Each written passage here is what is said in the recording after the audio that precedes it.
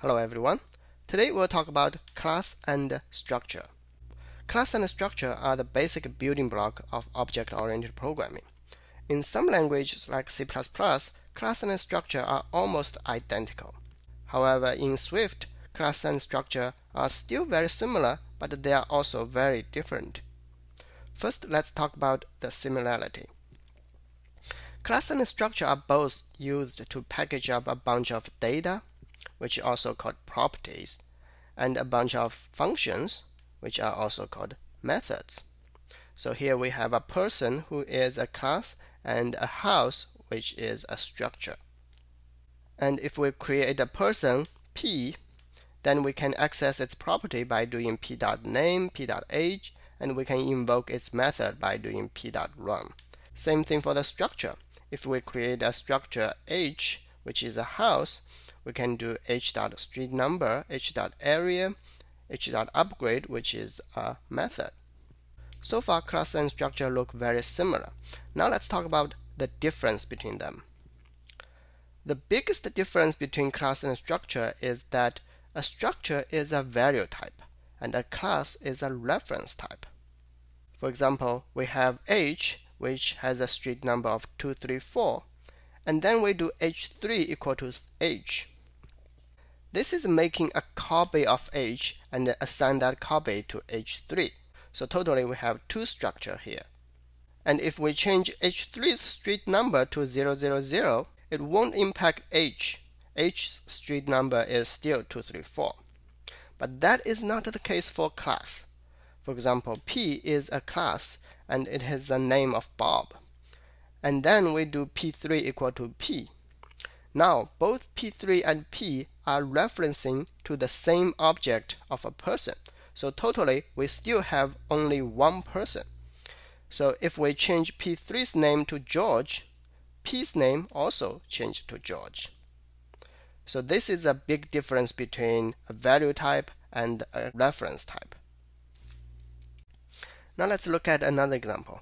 Let P5 equal to P Note that P5 is a reference type data and it is a constant. So P5 cannot be changed.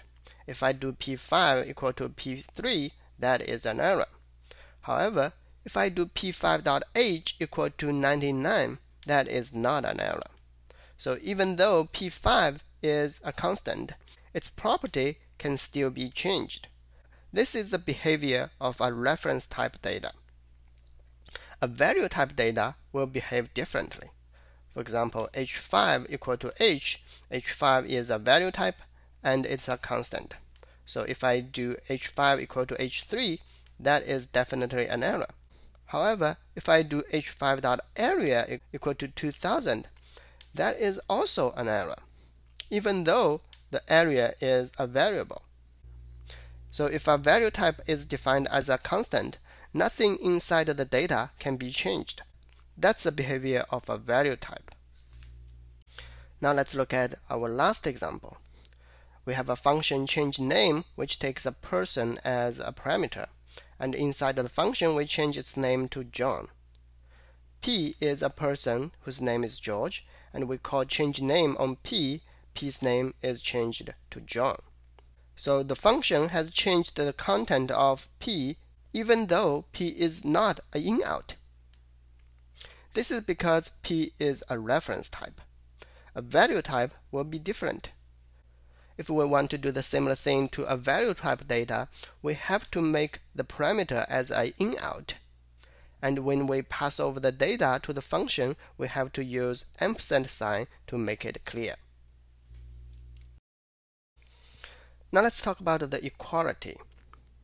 By default, the equal sign is not defined for both structure and class. So if I do h equal to h2, p equal to p3, they are both errors.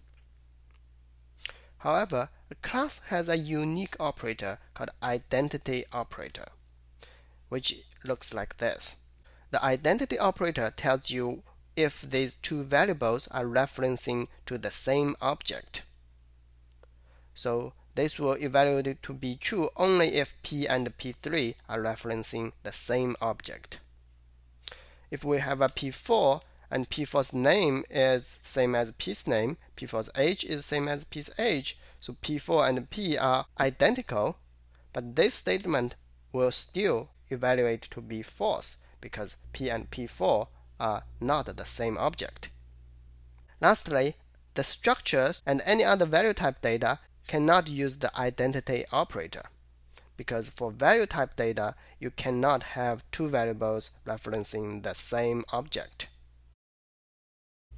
We have talked about in length the difference between a value type and a reference type, and we know a class is a reference type and a structure is a value type.